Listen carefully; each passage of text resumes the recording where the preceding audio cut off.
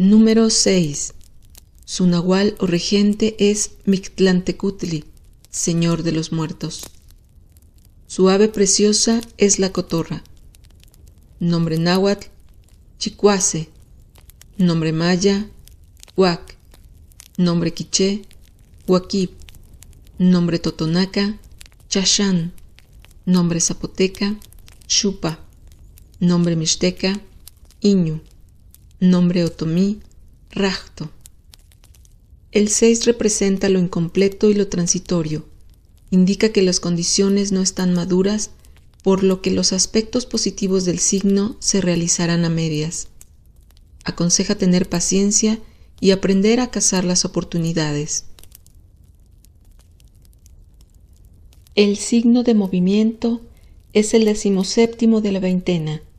Su nahual o regente es Xolotl, el monstruo. Se orienta al este. Su elemento es el fuego y su color el rojo. Su horario de máximo efecto es el amanecer. Su componente humano, la energía vital. Nombre náhuatl, Olin. Nombre maya, Cabán. Nombre quiché, Noj. Nombre totonaca, Moloch. Nombre zapoteca, Sho. Nombre mixteca, Ki. Nombre otomí, Bunti. El signo de movimiento representa las fuerzas que destruyen y regeneran el cosmos, la voluntad, el carácter y el criterio, la capacidad para dinamizar los asuntos y salir de rutinas y estancamientos, y el valor para sacrificarse. En nuestra historia personal, movimiento simboliza todos esos momentos en que tomamos una decisión y nos hicimos responsables.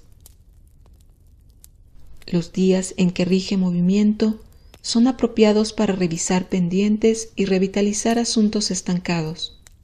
Quienes nacen aquí son despiertos, activos, valientes, luchadores, capaces de iniciar empresas sólidas, buenas relaciones sentimentales y amplias familias. Tienen una gran capacidad de cambio, adaptación e improvisación. Saben llamar la atención y son reconocidos. Un signo de políticos, maestros e inventores. En el aspecto negativo, los oriundos de movimiento tienden a distraerse, a olvidar, a desistir, a ser volubles, a reaccionar emocionalmente y a sentirse importantes. Consejo tolteca. No te distraigas ni cedas a actitudes extremas, imprudentes o arrogantes. La condición para que tengas éxito es que llegues a ser una persona culta y cultives la humildad.